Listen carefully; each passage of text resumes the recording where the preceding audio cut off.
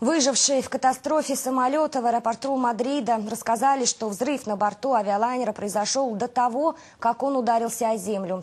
Одна из выживших пассажирок сообщила, э, что сначала она увидела пламя на одном из двигателей, затем раздался взрыв, а через минуту самолет ударился о землю. Пассажирка также рассказала, что самолет успел подняться на высоту в 200 метров. Кроме того, по ее словам, авиалайнер пытался совершить посадку, а не падал на землю.